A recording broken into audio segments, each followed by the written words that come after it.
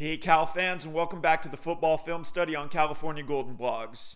In this week's video, I'm looking at the two pick sixes that opened our game against Colorado, and I'm also working on a full breakdown of our offensive struggles against the Buffaloes, which you can find at the link at the end of this video.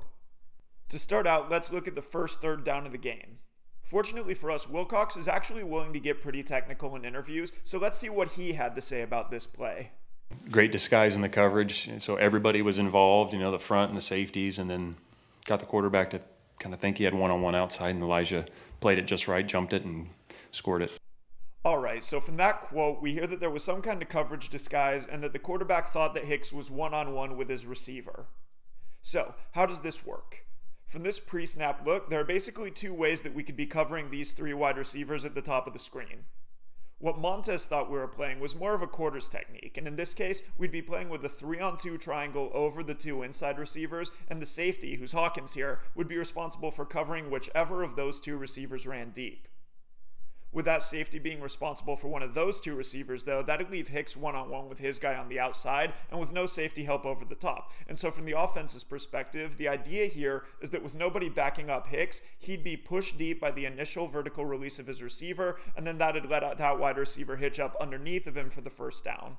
The trick here is that the coverage triangle is actually over the two outside receivers, and so Hicks does have a safety behind him on the deep stuff. And this is going to let Hicks read the quarterback while playing more of a soft flat technique. And so as soon as the quarterback commits to the throw, Hicks is able to jump the route for the interception. On third down, Montez to the outside, intercepted. Elijah Hicks is going to take it back for the pick six, touchdown California. Ultimately, Hicks did a lot to help this part of the disguise. If we run this back to the pre-snap look, we can see Montez eyeing that flat right here. And as he does so, Hicks is walking off to a depth of about 8 yards, which is right at the border between a deep quarter and a soft flat technique. This is also a pretty lazy read by Montez, who's apparently decided to throw this hitch based purely on the pre-snap alignment. After the snap, we can see that he doesn't even read Hicks, who isn't bailing at all. He just catches the ball and throws it immediately for the pick six. Now let's turn to the second interception. Montez fires it. It's intercepted. Ashtyn Davis with the pick. Davis down the sideline. Davis takes it to the house. Here's Wilcox again. The next, time I think it was a third down. Ashtyn put in a coverage where he's the the robber and played the second window we call it, and same route they beat us on last year for like three huge plays on a dig by two. We call it two three dagger, and Ashtyn played it perfect, and caught the ball, and scored it. The key word that Wilcox uses here is robber, and the broadcasters used that same term as well when they broke down this play. So, what's a robber? When we look at this pre snap alignment, it looks like we're playing a split safety coverage just like we did on the last play. In a robber coverage, you're going to show split safeties like this, and then you're going to spin to a single high coverage with one safety playing the deep middle of the field and the other robbing crossing routes in the intermediate hole underneath of him. This kind of robber coverage is often used to replace blitzing inside linebackers in the middle of the field, and that's what we see going on on this play. So that's what Davis is doing here.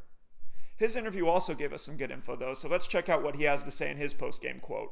You know, my play, I, we, we got gashed for it. You know, the, the people in practice, they were gashing us for that play.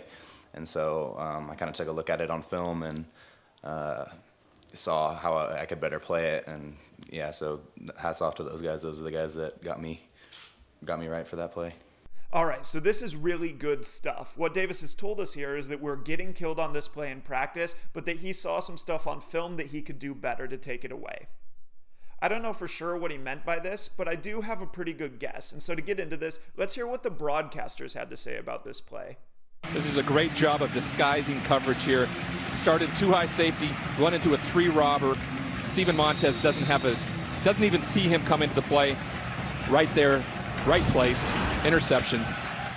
Okay, so the broadcasters said that Montez never saw Davis playing this robber technique, but I actually don't think that that's true.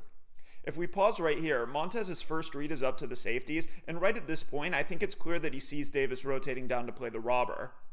What I think is happening, though, is that he's expecting Davis to stay in the middle of the field to cut off this route. The thing that Davis does, though, is jump to the outside as soon as Montez turns his eyes. And so I think that Montez knew that Davis was the robber here. I just think that he didn't expect him to cut over to the second receiver. I don't know for sure what Davis was talking about, but this is easily the kind of minor adjustment that he could have caught on film and then converted into six points on Saturday. All right, that's it for this week. I'll also be posting a full write-up of our offensive performance against Colorado at patreon.com slash berk18. So check that out if you want, and otherwise I'll be back here next week to break down the big game. So go Bears and get the axe.